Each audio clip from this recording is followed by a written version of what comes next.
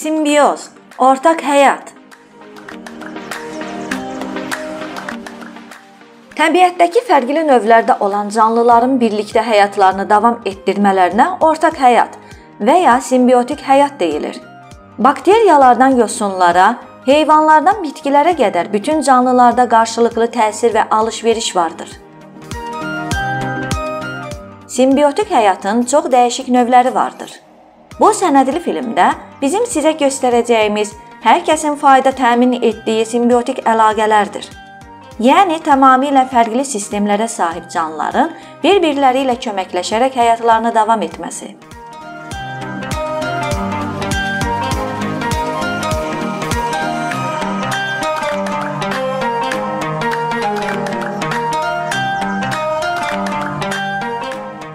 Bitki dünyasında ortaq həyat Simbiotik yaşayan canlılar əslində təbiətin bütün sistemi üçün açar rol oynayır. Məsələn, qurudakı bitkilərin 95%-i göbələklərlə simbiotik həyat yaşayırlar. Bəzi bitkilər göbələklərin köməyi ilə daha da güclənib canlana bilir. Ancaq bitkilərin 48%-nin yaşaya bilməsi yalnız bu göbələklərdən asılıdır. Göbələyin torpaqla reallaşdırdığı təhlil etmə əməliyyatı bitki üçün xüsusilə fosfat və azotlu komponentlər və minerallar təmin edər. Hazır mineral və orqanik komponentlər əldə edən bitki sürətlə inkişaf edər və daha sağlam olar. Bitki isə özü üçün qida təmin edən bu qonağını, yəni göbələkləri karbohidratlarla bəsləyər.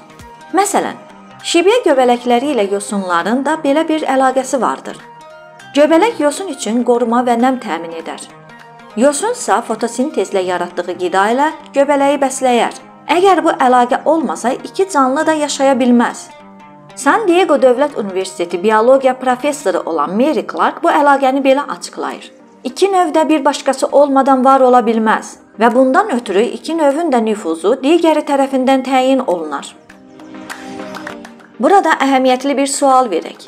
Hansı əvvəl yarandı? Göbələk yoxsa yosun?